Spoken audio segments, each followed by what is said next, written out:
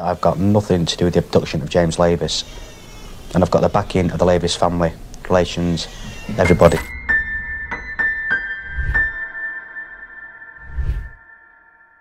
Jamie Aaron Lavis was born on the 16th of March 1989. The fact that Jamie was born a healthy little boy was just short of a miracle.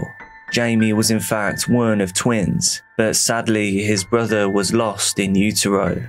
He was in many ways a typical young lad, described by his mother as being cheeky, funny, and as making everyone happy. He was well known and liked in the local community, and he enjoyed spending time outside with his older brother, John. The Lavis family are from the suburb of Openshaw in Greater Manchester. It is a working class area near the centre of the city. While at the time the suburb was considered a little rough, it was common for children to be playing out in the streets most days. Jamie was known for being mischievous, playful, and boisterous, and in an interview with a local news station, his mother, Karen, recounted how he would have breakfast with his father, John, at 6am after the hard-working man had gotten in from his night shift, and then go on to win a second helping. He'd simply tell her that he hadn't eaten yet. She lovingly called him comical, a proper character. His sister described him as cute and sweet with a smile that melted people's hearts. Jamie was one of five children, and despite his endless energy, he never strayed too far. For instance, as he was afraid of the dark, he was always home by tea time. However, on May the 5th, 1997, which was a national bank holiday, Jamie strangely failed to return home for tea. It was a particularly grey and wet day, and his mother was immediately alarmed. She knew that her boy would never come home late, and he loved his food. Jamie's father arrived home a few hours later, and he was initially reluctant to panic. He tried to keep his wife calm, claiming she was being overly sensitive. But by the time 9 pm and then 10 pm rolled around, the whole family knew that something was very, very wrong. They all went out looking for him. They felt especially concerned because Jamie was pretty small. Although he was 8 years old at the time, his clothing size was age 5 to 6 and he was only 4 foot tall. Remember, he was one of twins. His family worried that he was too small to defend himself against other kids, let alone anyone bigger. The Lavis family searched for hours, but Jamie was nowhere to be found. The seeds of concern grew quickly into a huge, dark, imposing fear. So eventually, they called the police. And so unfolded one of the more disturbing cases in Manchester's long history. Neighbourhood search parties took to the streets, and very soon local news shows were involved. The Lavis family begged for Jamie's safe return. If anybody out there knows where Jamie is or is giving him food, please just get in touch with the police. Everybody's waiting for him to come home. Now, Jamie's described as being small for his age. He's about four foot tall, and he wears he wears clothes that are made to fit a five to six year old. Multiple tips and sightings started flooding in. Several people said they had seen Jamie catching the 219 bus that morning. He was apparently off to town to buy his mother a birthday present. Superintendent Roy Rainford, now retired, was the senior investigator on Jamie's case. He described the 219 bus route as one that Jamie often took, jumping aboard as he got up to his many little adventures. This made the Openshaw buses the first hotspot of the investigation. The particular bus route stopped near several derelict houses that children used to play in. This concerned Rainford because it meant there were many abandoned buildings to search through, and that there were ample empty spaces to hide something nefarious. CCTV footage showed that Jamie had in fact entered the bus station at around 10.30am that morning, but this was the last footage that they could find. It was almost as if from the bus station, Jamie vanished into thin air. The hours rolled on. The investigation seemed to be leading nowhere. The Lavis family were becoming more and more distraught until a glimmer of hope. Around 24 hours after Jamie's disappearance, a local bus driver approached the family. He informed them that Jamie had been on his bus the day that he went missing. He even confirmed that Jamie was wearing a dark blue Reebok tracksuit. And, grateful for the first lead of the case, the family felt that this man could be the key to bringing Jamie home. Darren Vickers, a 28 year old bus driver, was the last person to see Jamie before he vanished in May of 1997. Darren only lived a few houses down from the Lavis family, and he told the police that Jamie had spent all day on his bus the day that he went missing. He also said that Jamie had purchased a day saver ticket, a ticket that gives you unlimited travel within a certain area, and that he eventually got off at the Ashton bus station near their home. The family were frantic and desperate for answers, and Darren was the closest tie they had to their missing son. Soon, Darren began integrating himself into the family's lives, spending days on end in their home to help with the investigation. He claimed that he felt guilty, having been the last point of contact with Jamie, he felt that he had a responsibility to the family and to Jamie, so the Lavis family embraced him as a good Samaritan, as someone who was both willing and able to help them when they needed it the most. Darren also started to talk to the media. He gave several interviews with local news stations. He stated that whoever was keeping a boy of that age was sick and that they needed to send him home. He also told the media that, unlike the police, he did not believe that Jamie was no longer alive. There's somebody out there who's got to be sick keeping a child of that age. You know, it shouldn't be done. Had any respect, you just hand him over to the nearest police station, just let the child go in, just let him come home. He's not in trouble, he's not nothing, he's just wanted. I feel he's still alive. I don't fear the same way the police fear that he's murdered. His family don't somebody somewhere knows where Jamie is. Could never dream of it. A young child on the bus like that, you know, just going missing. It's just unbearable to think about. It's just a nightmare for everyone. We just got close. It's like one big close family now because we've been out, we've been out virtually 24 hours a day, all of us involved looking for Jamie. He even took part in a police reconstruction of the day that Jamie went missing. Darren now acted as the unofficial spokesperson when the family couldn't face the media. One officer even described him, ominously, as their kingpin. He began thinking of himself as their pillar of strength. He would lead search parties looking for the boy. The family soon became emotionally dependent on Darren. The more he placed himself at the centre of the case, the more unnerved people around the family became. Community members found his new fixation odd, and soon the police became suspicious as well. It also became increasingly difficult for the police to share information and updates with the family, that is, without it quickly filtering through to Darren. Some officers felt that the Lavis family trusted Darren more than they trusted the police, and who could blame them? Darren had moved in with the family even though he had his own family just a few doors down. Despite the police's frustrations and their suspicions, they had no evidence or strong leads, and the case seemed to reach a deadlock. However, slowly, Witness accounts of Jamie's last day started trickling in from people on the bus, and all of them varied starkly from Darren's story.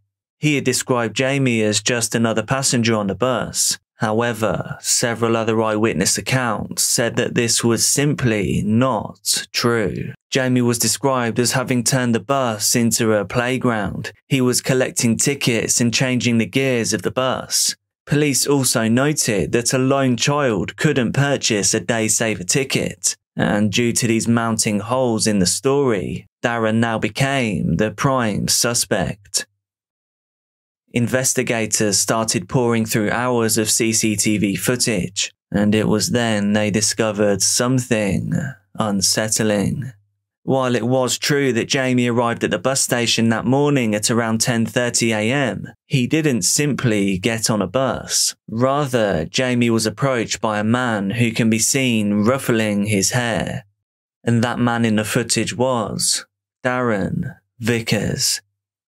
The police immediately ran a background check on Darren. They discovered at the time of Jamie's disappearance, he had only been working as a bus driver for a few days. On his CV, most of his references were simply fake, and he'd made them up, except for one. And that one person was a convicted pedophile. With their new discoveries backing their investigation, the police were able to arrest Darren Vickers on the 24th of May 1997. This was approximately three weeks from Jamie's disappearance. Shockingly, the Lavis family were appalled by the arrest. They blamed the police as being desperate and having no other leads. They still felt that Darren was their friend, and maybe more than that, to them, he had been their hero throughout this emotional trauma. And perhaps Jamie's family did actually have a point. The evidence against Darren was in reality pretty weak, and so police were unable to charge him. Darren was released. He was welcomed home and fully embraced once again by the Lavis family. Not only were they waiting for him at the station when he was released, but they even threw him a party.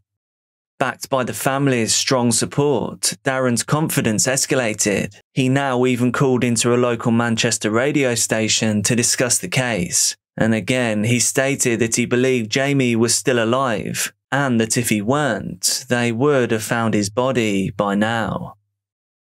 Well, I was coming back from Manchester, and I said to him that uh, I'm going to have to drop you back off now because this is my last run up. Jamie turned around and said to me, but my mum and dad's not in, I've got nowhere to go. Then I said to him, well, since you only live around the corner from me, I can take you back to the depot and drop you off when I go home. He was over the moon about it. He said, yeah. I said, are you sure you're going to be okay? He said, yeah. That was the last we saw of him. So how's the police investigation going, Darren? The police are not letting much information out about that. It's the family is supposed to know, you know, the first confirmed sighting. Yeah. We've never been told. I'll never know till the day he comes home. Mm. I still believe he's alive. If the case was what the police are making out to be, if the case was he was dead, around where they're looking, they'd have found him by now. Darren's behaviour was starting to rouse suspicion from those close to the case, but still seemingly not with Karen or John.